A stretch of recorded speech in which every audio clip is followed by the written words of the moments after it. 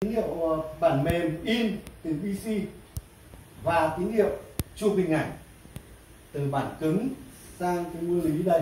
Chúng ta thấy ở đây, bảy bước xử lý hình ảnh, một cái máy photo của bất cứ hãng nào, bất cứ định dạng gì cũng đều có cái nguyên lý bảy bước này. Và khi chúng ta nhận diện được sẽ là có những cái định dạng là máy photo thiết kế dạng văn phòng, nhỏ gọn về thể tích và máy dạng công nghiệp dịch vụ có nghĩa là đáp ứng được những cái nhu cầu sao chụp lớn theo ngày, tháng và năm. Với máy lớn thì hệ cơ cần phải lớn đi kèm đầu tư lớn để đáp ứng được cái quá trình khai thác với mật độ cao, tốc độ liên tục. Còn với máy văn phòng, hệ cơ sẽ nhỏ gọn và phù hợp với những cái nhu cầu sao chụp vừa phải trong ngày. Đó là cái sự khác biệt.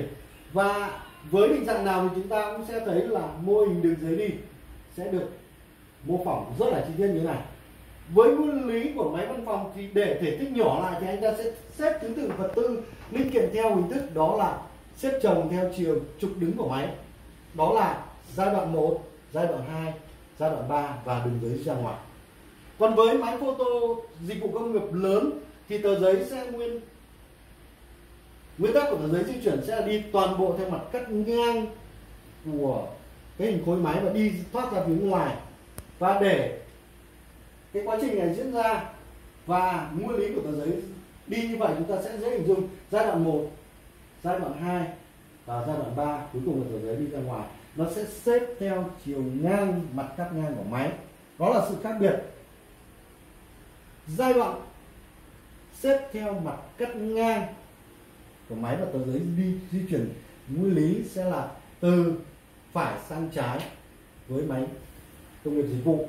Với máy văn phòng, giai đoạn sẽ xếp theo nguyên lý treo trục dọc của máy. Một, hai, ba và thời giấy ra ngoài. Đó là sự khác biệt của hai cái cấu trúc này.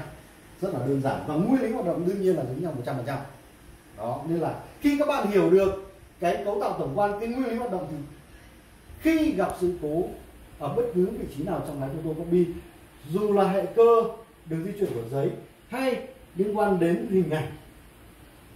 Bản in bản photocopy thì chúng ta hoàn toàn có thể xử lý một cách rất là đơn giản. Đó là cái quy trình của chúng tôi đào tạo chuyển giao để cho các bạn có một cái nghề đó gọi là nghề kỹ thuật sửa chữa máy photocopy